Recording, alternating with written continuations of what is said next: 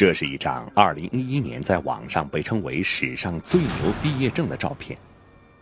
说他最牛是因为这份毕业证的导师一栏赫然写着王国维、梁启超、赵元任、陈寅恪的大名。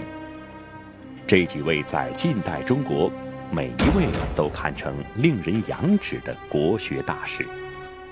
无疑，北洋时期的清华学子们是幸运的。一九二五年，清华国学院刚刚成立时。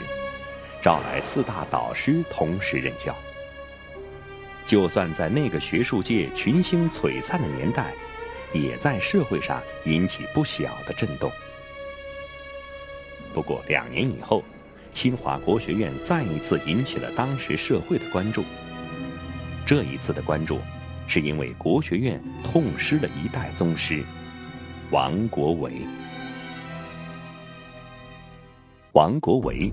字敬安，一字伯瑜，号观堂，浙江海宁人。一八七七年十二月三日生。他在文学、美学、史学、哲学、古文字、考古文学、考古学等各方面都有卓著的成就，是北洋时期国学的一代宗师。一九二三年。遍习西学又留学日本的王国维，由蒙古贵族，大学士声允举荐，与罗振玉、杨宗羲等应召任清训帝溥仪南书房行走，识五品录。不过，王国维帝师的身份并没有维持多久。第二年，冯玉祥发动北京政变，驱逐溥仪出宫。王国维引为奇耻大辱，愤而与罗振玉等前清遗老相约投金水河殉清，因祖于家人而为国。从此，王国维就以清室遗老自居。至老，王国维也没有剪掉作为时代象征的辫子。一九二五年，王国维受聘任清华研究院导师。教授古史、新政、尚书、说文等，与梁启超、陈寅恪、赵元任被称为清华国学院的四大导师。桃李门生私塾弟子遍充几代中国史学界。在清华，王国维不仅教出了谢国珍、丁山、刘杰、徐中书、戴家祥等人。这些人都称为中国近代文化界最中间的人物，在全国的知名大学任教，影响深远。他也结识了史学界的另一位大家陈寅恪。陈寅恪，江西义宁人，一八九零年七月三日生于湖南长沙，中国现代最负盛名的历史学家。古典文学研究家、语言学家陈寅恪少时在南京家塾就读，在家庭环境的熏陶下，从小就能背诵四书五经，广泛阅读历史、哲学典籍。早年他留学日本、欧洲、美国等，学习梵文、巴利文等古文字，并了解西方文化。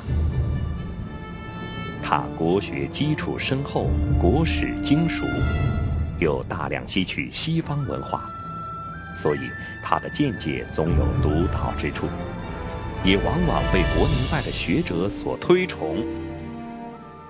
一九二五年，陈寅恪被梁启超力荐，受聘于清华。在清华，王国维和陈寅恪算是真正见面认识了。但其实他们的联系却远远不止于清华。陈寅恪与王国维都深受清代钱家学风的影响，特别受晚清学者沈曾直的影响更大。王国维一直视沈曾直为师长般敬仰，而沈曾直与陈寅恪的父亲也是莫逆之交。陈寅恪是晚辈。对沈曾直产生仰慕是很自然的。后来，陈寅恪从事梵文、西北史地、元蒙史的研究，与沈曾直的影响也不无关系。此外，王国维与西方著名的汉学家，如法国的伯希和、沙畹等，都有密切关系。陈寅恪在巴黎时结识伯希和，也是由王国维写信介绍推荐的。一九二六年，陈寅恪来到清华园的当晚，便在吴宓的陪同下拜访了王国维。这是两位神交已久的大师的初次见面，这一见就不可收拾。在短短两个月的时间里，两位大师就多次交谈，以致王国维在写给罗振玉的信中大赞陈寅恪。此人学东方言语学，研欧洲学问界情形甚详。可见，这段时间里两人的交谈涉及了东西文化的多个领域。两人还常常结伴到海王村，为清华国学研究院淘书。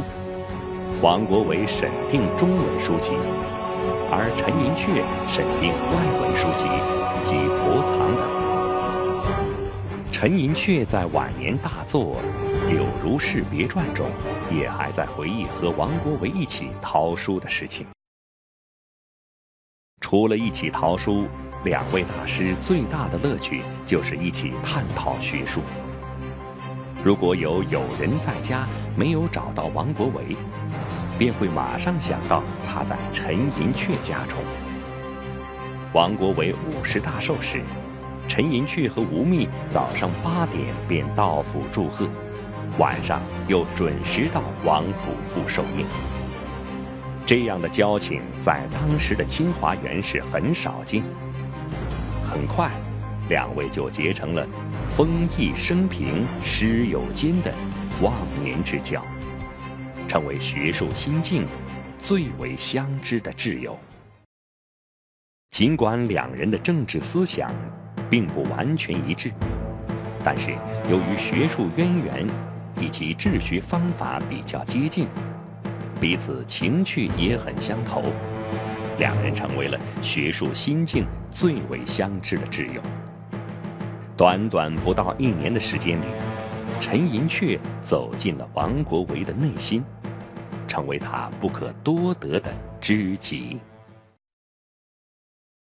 一九二七年六月二日，王国维独自一人从清华园坐车到了颐和园。购票入园后，他步行到排云殿西的鱼藻轩前，面对着昆明湖水，若。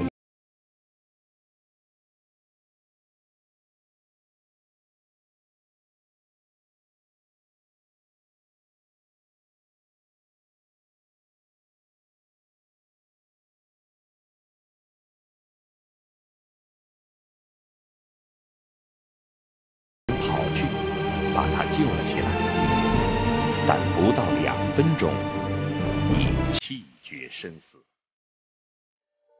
入殓时，在王国维的礼衣中，发现他写给第三个儿子真名的一纸遗书。